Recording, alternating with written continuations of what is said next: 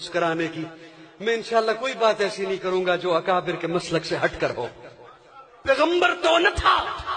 پیغمبر جیسا لگتا تھا، وہ دریا تھا، مگر گہرے سمندر جیسا لگتا تھا۔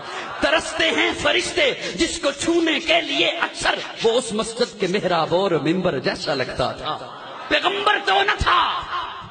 پیارے آقا کی عمر تریسٹھ برس، صدیق کی عمر تریسٹھ برس۔ پیارے آقا کی وفات پیر کے دن، صدیق کی وفات پیر کے دن۔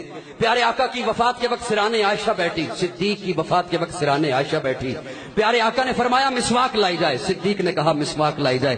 پیارے آقا نے فرمایا مسواک سخت ہے، نرم کیا جائے۔ صدیق نے بھی کہا مسواک سخت ہے، نرم کیا جائے۔ پیارے آقا کی مسواک کو عائشہ نے نرم کیا، چبایا۔ صدیق کی مسواک کو بھی عائشہ نے چبایا۔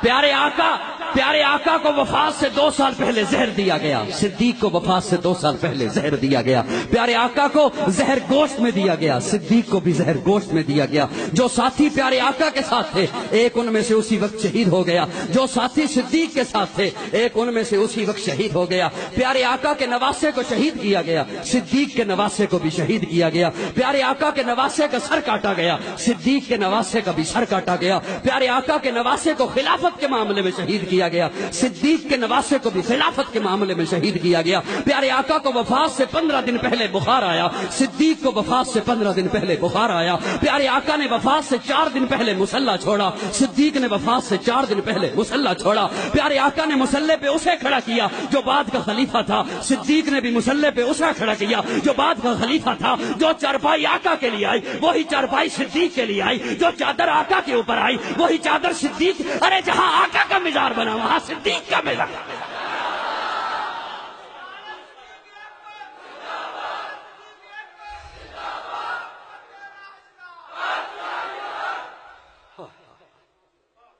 پیغمبر تو نہ تھا۔ کچھ تھوڑا سی کوشش کرو بولنے کی میرے سے۔ پیغمبر تو نہ تھا۔ پیغمبر جیسا لگتا وہ دریا تھا، مگر گہرے سمندر جیسا لگتا تھا۔ پیغمبر تو نہ تھا۔ کیا کہنے ابو بکر کے؟